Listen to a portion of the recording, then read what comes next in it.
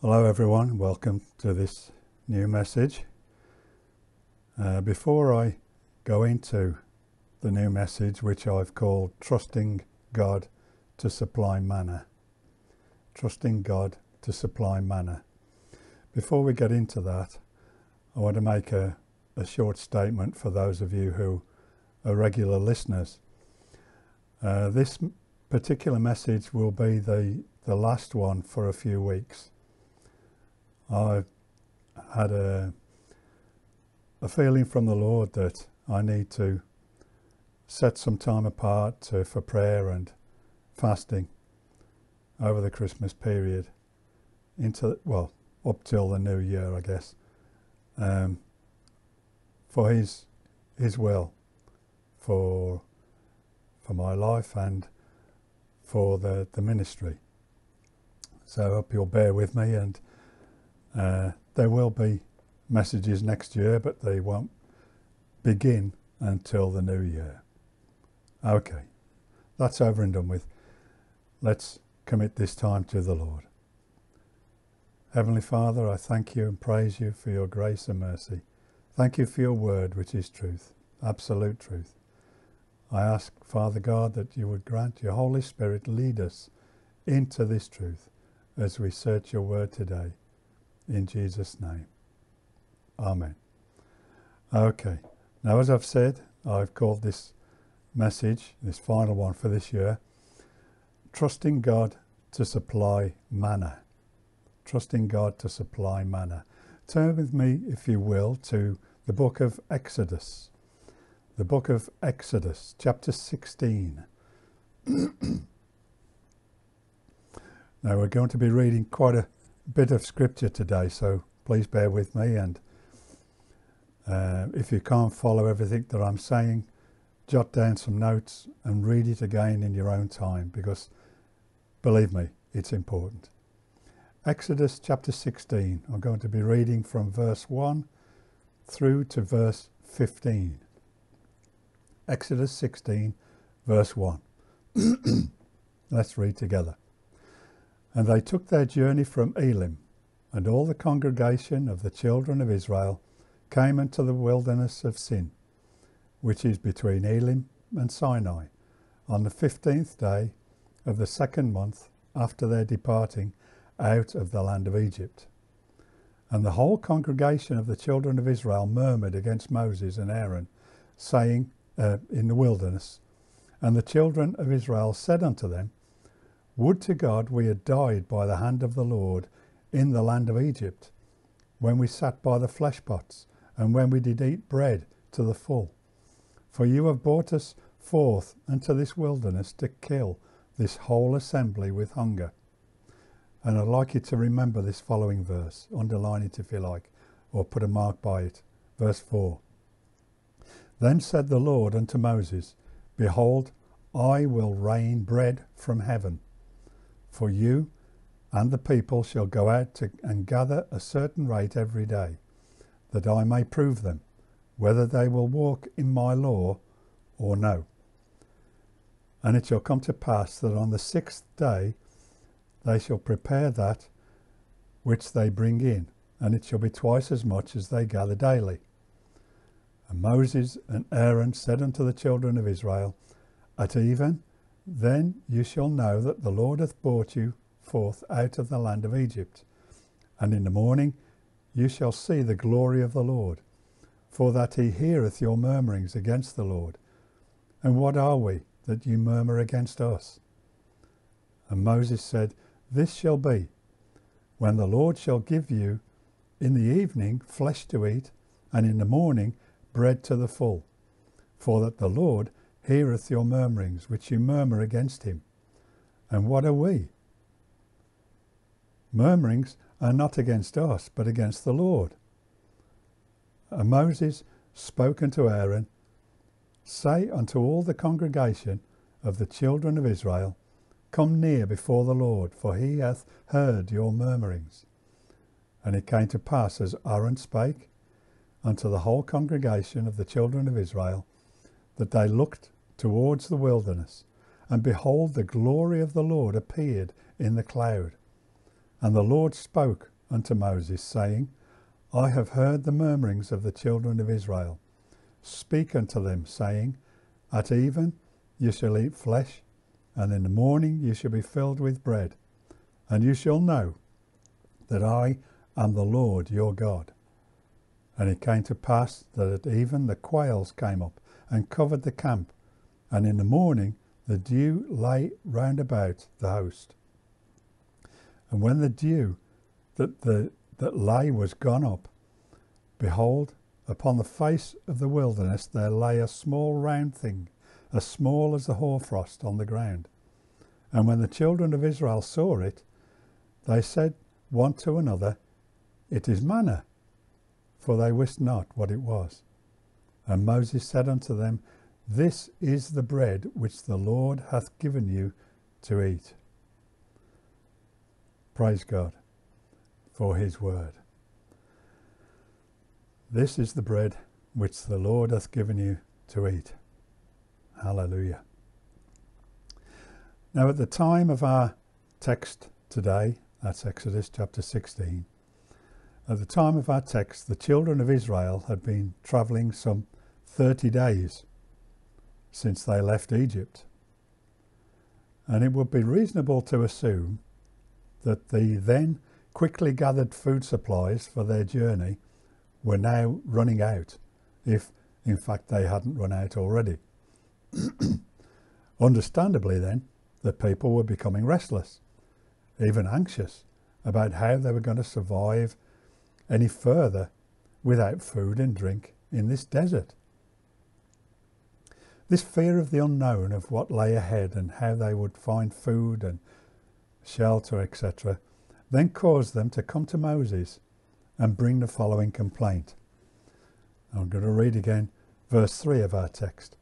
And the children of Israel said unto them, that's Moses and Aaron, Would to God we had died by the hand of the Lord in Egypt, when we sat by the flesh pots, and when we did eat bread to the full.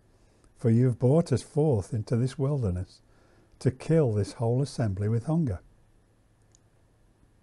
Now, it's, it's easy for us to look at this and say, how ungrateful of these people. After all the wonderful and miraculous works of God that had led them to being set free from their bondage in Egypt, and then to be witness to the parting of the Red Sea, plus the following destruction of Pharaoh and his army when it closed together again. However, before we think of judging them for their lack of faith and trust in God, we should first remember that they didn't have the benefit of the Comforter, the Holy Spirit, as we have today, who are born in Christ. These people were slaves, literally slaves. They were used to being told when to get up and go to work, when to eat, when to drink, when to sleep, and so on and so on. Now here they are in the desert, wilderness, with no provisions and a long journey ahead of them. Now they were also used to obeying their taskmasters and of course Pharaoh, whom they could all see with their own eyes. They knew their enemy. Now they were being told to trust in an unseen God to meet all their needs. And you know that's a problem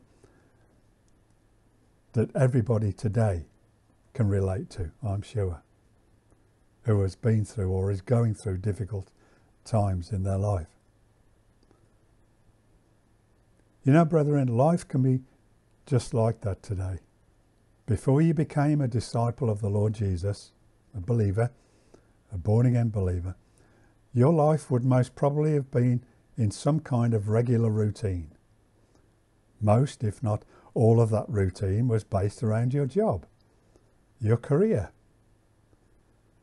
Your wages or salary governed just what you could do outside of that job. By this I mean what size and type of home you could afford, what kind of car you could drive, if in, in fact you can drive, if not, using public transport, etc. What your diet was like, even what you did with your spare time, if you had any, that is, meaning socialising and holidays and so on. There would have been many people in the same boat, so to speak, as you, where you worked. So you had a number of them who you probably socialised with outside work, friends and acquaintances. What I'm saying, brethren, is that the average person who does not know the Lord or believer before they knew the Lord had a life which was pretty much a regular routine. It was pretty much the same day to day. It was known that each day would be pretty much the same as the next. So much so that you could plan ahead for such things like holidays and so on. Plus, there were a number of people around you, friends, acquaintances, as I've said, who thought and acted and lived as you did. When and if, however, a person is born again, life becomes somewhat different, as I'm sure many of you will understand and know. You may not have been from the town or country where you lived, but you no longer belong to the same group of friends and acquaintances that you once did. The reason for this is simple. It's because you no longer think and act as they do, as you once did yourself, because you're now born anew by the Spirit of God. You've now been imbued with the nature and the mind of Christ Jesus. You've died with Christ and have been made a new creation, a new species. Turn them, if you will, to 2 Corinthians chapter 5. 2 Corinthians chapter 5. It's a scripture that I've used many, many times, and I make no apologies for it. Speaking about being new creations and new species. 2 Corinthians chapter 5, verse 17. Let's read together. 2 Corinthians chapter 5, verse 17. Therefore, if any man be in Christ, he is a new creature. Old things are passed away. Behold, all things are now become new. Now, I'm sure that many, if not all of you, will have either read or heard this scripture many times before.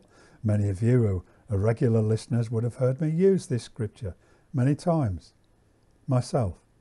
However, my brothers and sisters in the faith, it is vital that we really understand the depth and importance of what the Apostle Paul has said here.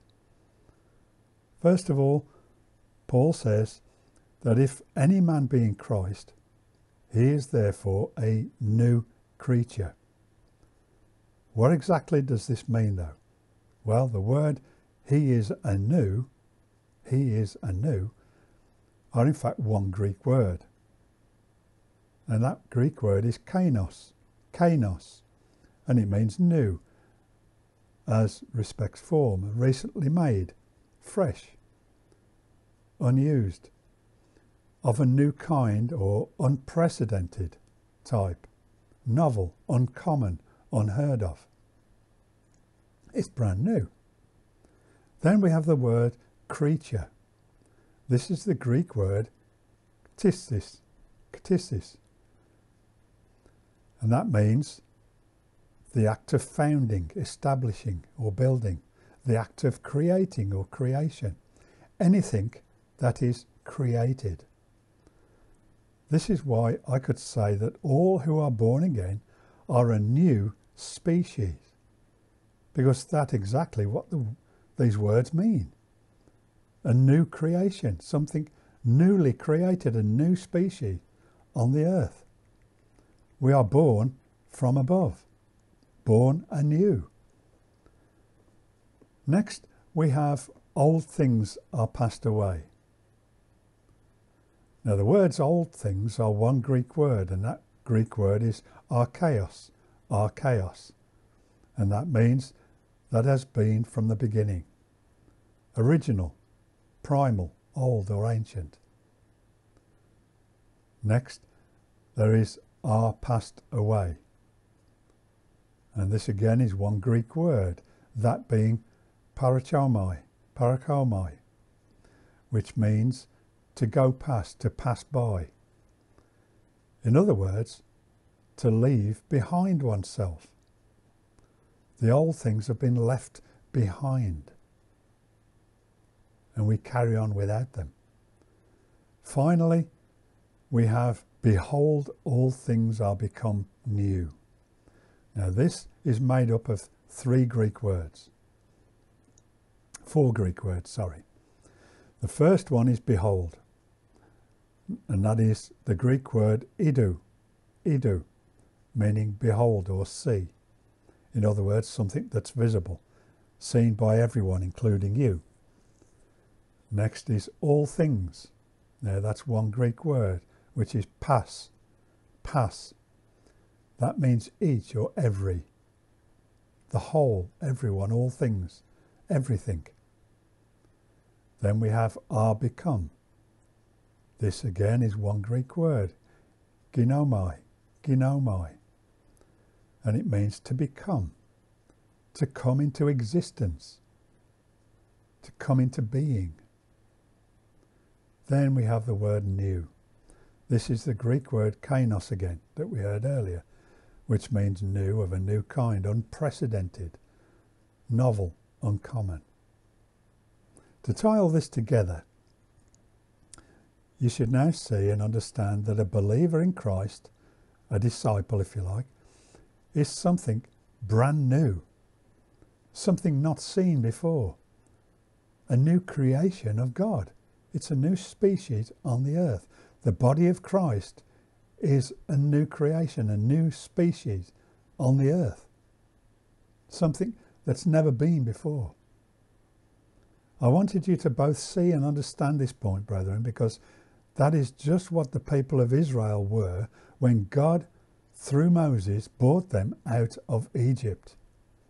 They had been saved by the blood which was sprinkled on the doorposts and the lintels of their home, whereby the destroyer had then passed over. This is where we get the word Passover, the feast of Passover, because the destroyer passed over their homes. They had been taken out of the world, or Egypt, which is a type of the world. Then they were baptized when they passed through the Dead Sea on dry land. They now belonged to God. They'd been purchased by God. Just as we now belong to Christ. Do you see it, brethren? Their salvation from bondage to Pharaoh in Egypt is a prophetic picture and type of our salvation from sin and the world through Christ Jesus. There is so much more for us to learn from their experiences in the wilderness. So much more than even we're going to look at in this message. This is the reason why I felt it necessary today to lay this foundational base before studying our text for today, which concerns the blessed gift of the manna. So let's begin to look at the manna. We're going to look at the manna a gift of God. Now, as I sincerely hope you've seen, the people of Israel in our text today were as we were when we first became saved. They had been slaves to Pharaoh. Now they were expected to follow an unseen God. In effect, brethren, they were babes in their new life as the people of God, just as we were when we were born again. They were no longer slaves, but they carried with them that mindset of slaves. Just as we, when we were born again, still carried with us that mindset of our routine in the world. I'm sure that you can see the picture here as it reflects our situation in Christ when we were first saved. I truly hope that you do, brethren, because it is our responsibility to learn from the mistakes of the Old Testament Israel. That's why these things were written for our benefit, that we may learn from their mistakes. The Israelites were, as I've said previously, used to living as slaves. They depended upon Pharaoh for their food, housing, and order of life, and so on. Now they were out of Egypt. They were in a desert, a wilderness. They were continually on the move, no fixed home, and only what they'd been able to carry out of Egypt to sustain them on the journey. Now, at the point where we meet up with them in our text, their rations, as I said, were running out, if they in fact hadn't already. So they begin to complain to Moses and Aaron, the leaders they could see. As we see in uh, the first verse of our text today, in this first verse, sorry, not the first verse, verse 3. Let's read it again together. Exodus 16, verse 3. And the children of Israel said unto them, that's Moses and Aaron, Would to God we had died by the hand of the Lord in the land of Egypt, when we sat by the flesh pots, and when we did eat bread to the full, for you have brought us forth into this wilderness, to kill this whole assembly with hunger. Now they had already had a prophetic promise from God that he would bring them unto the promised land the day they came out of Egypt. Here, let's turn back to Exodus chapter 13, please, if you will. Exodus chapter 13. And we're going to read three verses from verse 3 to verse 5. Exodus chapter 13, starting from verse 3. Let's read together. And Moses said unto the people, Remember this day in which you came out from Egypt, out of the house of bondage. For by strength of hand the Lord brought you out of, from this place. There shall no leavened bread be eaten. This day, this day, sorry, came you out in the month of Abib. And it shall be when the Lord shall bring thee into the land of the Canaanites, and the Hittites, and the Amorites, and the Hivites, and the Jebusites, which he sware unto thy fathers to give thee, a land flowing with milk and honey, that thou shalt keep this service in this month. There's the promise. This should remind you of the promise of an ultimate destination, both for the people of Israel and for us as believers in Christ Jesus, because God changes not. His promises are yea and amen. To back that up, turn with me to the Gospel of John if you will. The Gospel of John, chapter 14. As I said, we're going to read a lot of scripture today, so please be prepared and let your fingers be nimble. John chapter 14, verses 1 to 3. John chapter 14, verse 1. Let's read together. Let not your heart be troubled. You believe in God, believe also in me. In my Father's house are many mansions. If it were not so, I would have told you. I go to prepare a place for you. And if I go and prepare a place for you, I will come again and receive you unto myself, that where I am, there you may be also.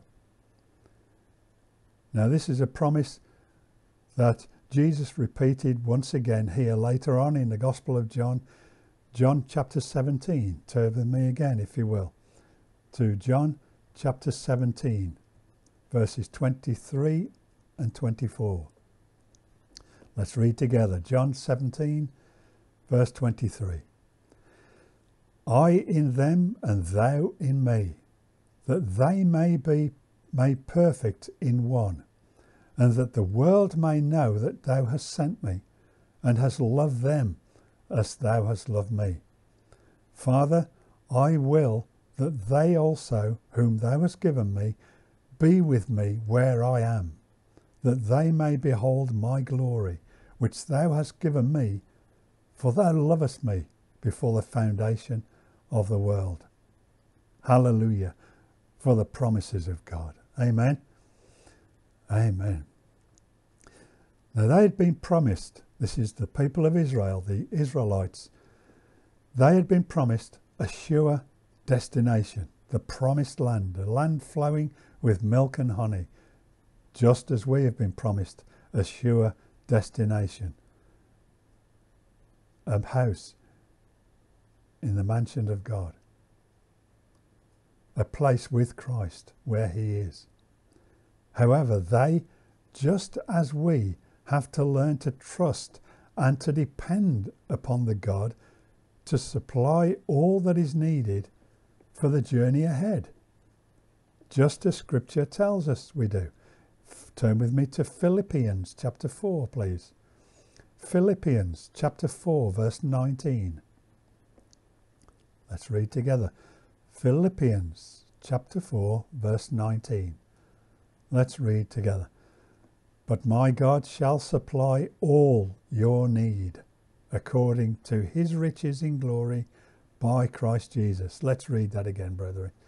But my God, say that in a personal way, your God. My God shall supply all your need according to his riches in glory by Christ Jesus. Hallelujah. That's God's promise to you, brethren. If you're in Christ Jesus, He'll supply all your need, not your wants, but your needs, according to his riches in glory by Christ Jesus. Don't we serve a great God, a wonderful God, a majestic God? Now, the people of Israel did not have the benefit of the last scripture.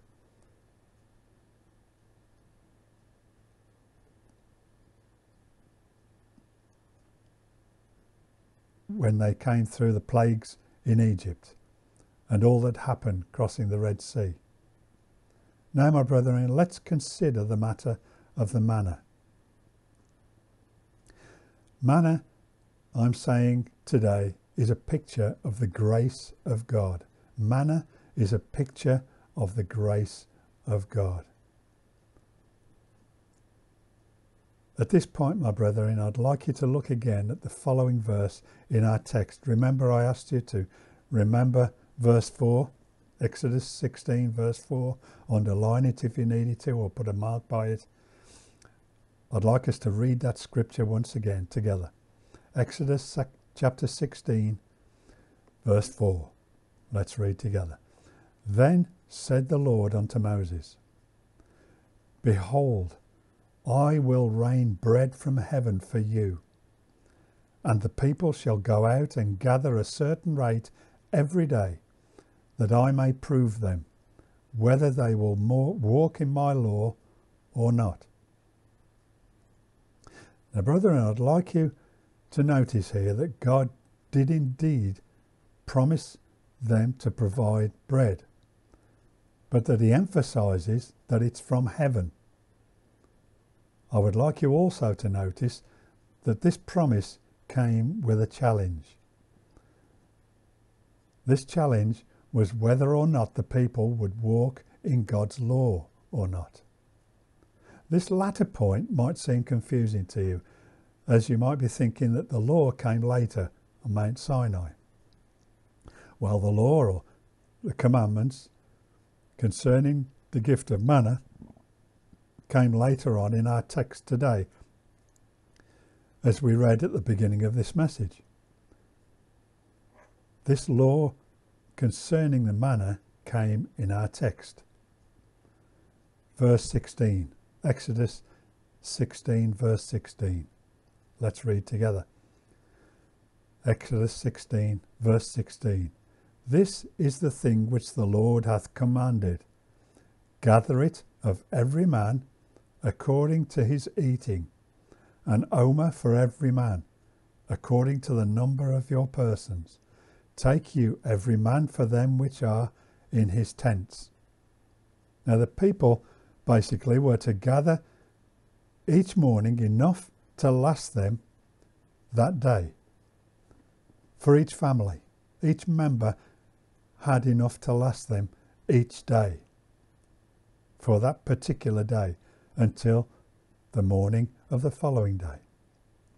However, some tried to gather more than they really needed. And they found that the following morning what they had gathered had gone rotten and had got maggots in it, as we are going to read now in verse 19 and following. Exodus chapter 16, 19 and 20. Verse 19 And Moses said, Let no man leave of it till the morning. Notwithstanding, they hearkened not to Moses, but some of them left of it until the morning, and it bred worms and stank. And Moses was wroth with them, or he was angry with them, in other words. Now, I'd like you to see here, brethren, that this law has never been rescinded. This law about the manna has never been rescinded. How do we know that? Well, I'm going to tell you now. Jesus himself incorporated this law in the daily prayer he taught his own disciples, and by extension, you and I also.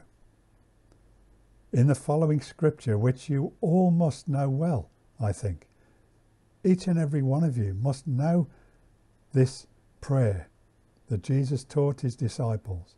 And I'm sure many of you, if not all of you, have prayed it many times, if not daily. Let's read it together. Turn with me to Matthew, the Gospel of Matthew, chapter 6. The Gospel of Matthew, chapter 6. We're going to read from verse 9 through to verse 13. and I wonder if any of you have ever linked these two things together. Well, let's, let's read it through now, and I hope that you'll begin to understand what this message is about. Matthew chapter 6 and verse 9. After this manner, therefore, pray ye. Jesus speaking here. After this manner, therefore, pray ye. Our Father, which art in heaven, hallowed be thy name.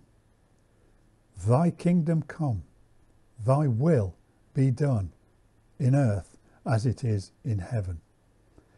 Give us this day our daily bread. Underline that verse.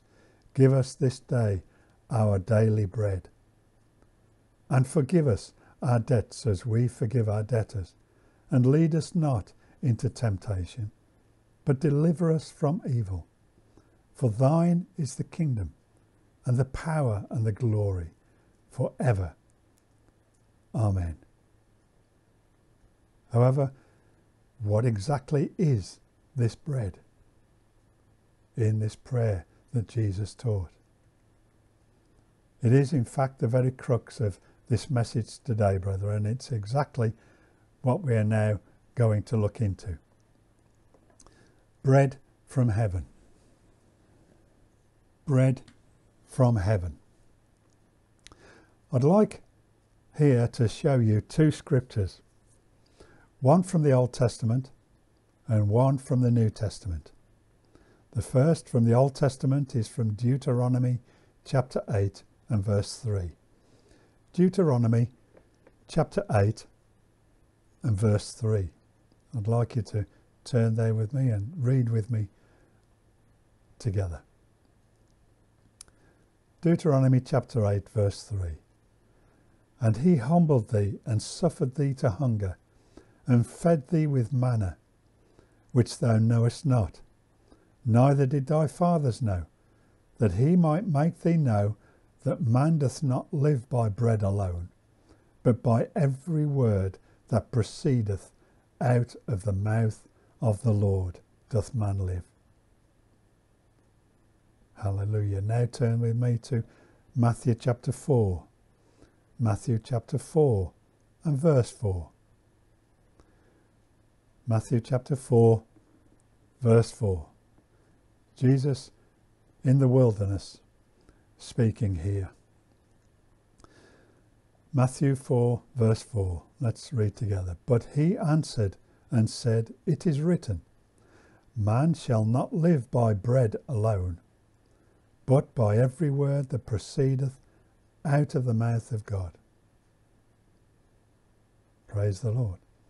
Now, in this, the first scripture that we read, Deuteronomy chapter 8, verse 3, God is telling his people in the wilderness that he allowed them to go hungry in order that they would seek him for their needs. Also, to trust that he would honour his word to provide what they would need each and every day of their journey. This was the law of the manna. In the second scripture, Jesus himself rebuffs the taunts of Satan to turn a stone into bread to satisfy his hunger, using the same Old Testament verse. Now, the word bread in the first scripture is the Hebrew word lechem, lechem, which means food or uh, bread or grain, food to eat, a loaf of meat. It's virtually the same as the second word, which is the Greek word artos, which itself means bread or loaf, bread, or even showbread. These two Greek and Hebrew words are virtually the same. However, in the context of our two scriptures, it means much, much more, as we will see as we carry on. In these two scripture verses, and also in our text today, more of a picture or type of something much deeper and more profound to a believer in Christ emerges. More of a picture or a type of something much deeper, more profound to a believer in Christ reveals itself. Brethren, the bread that we are talking about in both of the scriptures that we've read, and indeed our text for today, Exodus 16, which is for the sake of this message the more important of them, is rather a picture or type of the grace of Almighty God.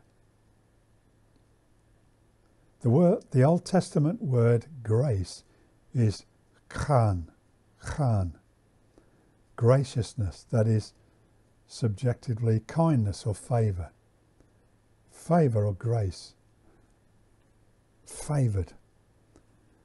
The New Testament word for grace is charis, charis, meaning graciousness. It's of spiritually, especially the divine influence upon the heart and its reflection in the life benefit, an unmerited favour. As you can see, they are both virtually the same. And so we're speaking of the same thing here. In our text, in the fourth verse that we have repeated, we see that God said that he would rain down bread from heaven for his people.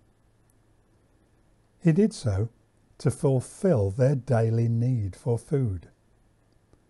However, as we can also see in this same verse, he did it to see if the people would trust him to provide for that need each and every separate day.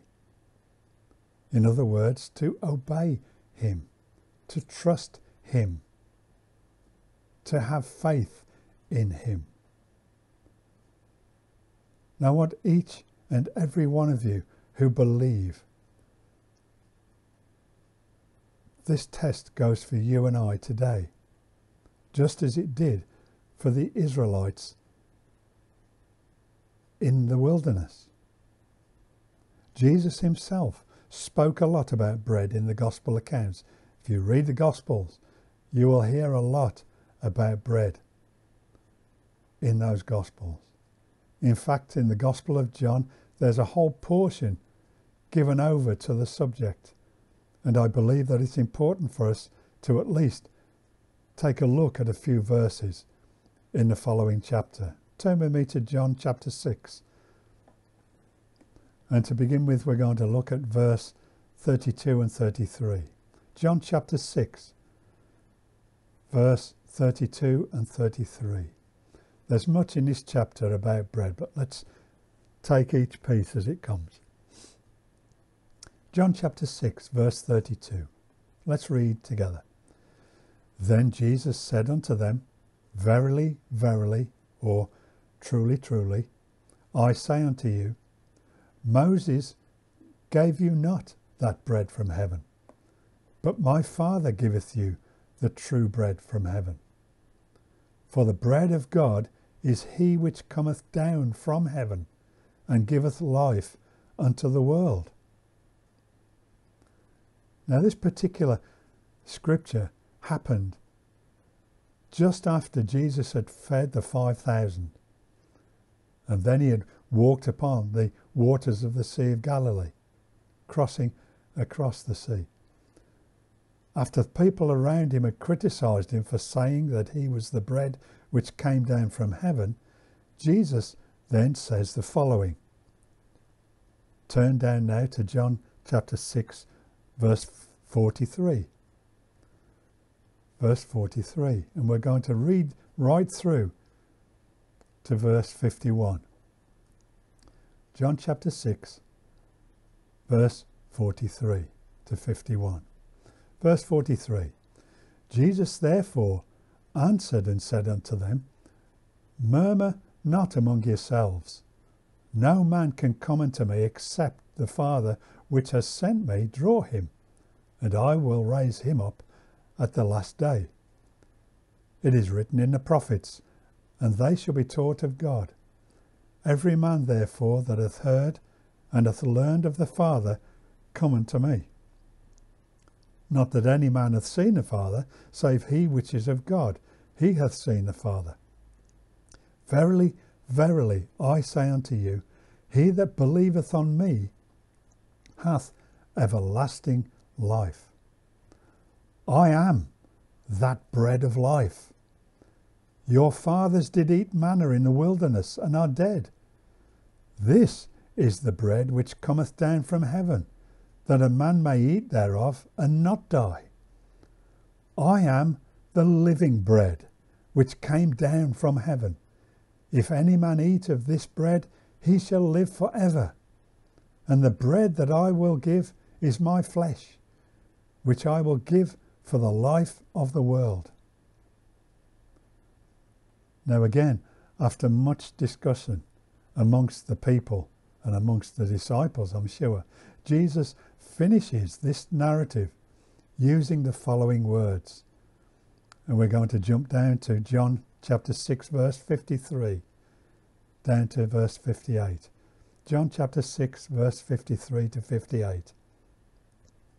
Verse 53 Then Jesus said unto them, Verily, verily, I say unto you, except you eat the flesh of the Son of Man and drink his blood, you have no life in you. Whoso eateth my flesh and drinketh my blood hath eternal life, and I will raise him up at the last day. For my flesh is meat indeed, and my blood is drink indeed. He that eateth my flesh and drinketh my blood dwelleth in me, and I in him. As the living Father has sent me, and I live by the Father, so he that eateth me, even he shall live by me. This is that bread which came down from heaven. Not as your fathers did eat manna and are dead, he that eateth of this bread shall live for ever. Can you see, brethren? Can you see the, the picture there from the Old Testament to the New? Now, in conclusion, to tie all this together, I know there's been a lot of scripture, and maybe you can listen to the message again to get it clear in your mind or to jot down the verses. For I said that the bread in the wilderness, in our text today, Exodus chapter 16, the manna in our text was a picture of the grace of God. And so it is. We have looked at much scripture today, and I make no apology for that. However, we've not finished yet. There's one more scripture to show you, which I hope will help you understand about the bread and the grace of God, and that we need to trust in God to supply our need each and every day, just as the Old Testament Israelites did in the wilderness. For this, we must now turn to the Gospel of Luke. Please turn with me, if you will, to the Gospel of Luke, chapter 22. The Gospel of Luke, chapter 22, verse 19. Luke 22, verse 19. Let us read together. Verse 19. And he took bread and gave thanks and broke it and gave it unto them, saying, This is my body, which is given for you. This do in remembrance of me. I love that scripture. I love the communion. I love to be able to remember Christ who died to pay the price that we could never pay, brethren. The bread is a picture of his body, and the, the wine is a picture of his blood. And we're to remember that when we partake of it. Now, this, of course, is the eating of the bread. Luke 22:19. It's a, the eating of the bread at the Last Supper in the communion instituted by Jesus himself. Now, this is very important for every one of us who believe because it should remind us that we need the strength, we need the wisdom, and we need discernment and protection of God in and over our lives every single day. Not just once a week.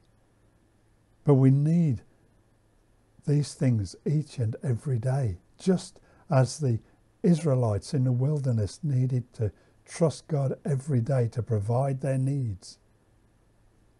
So we need to trust in God through his precious Son, the Lord Jesus Christ, to supply our need. And remember, he has promised to supply our needs, not our wants. And he has promised to supply our needs daily. But we are not to take it for granted, as some did in the wilderness.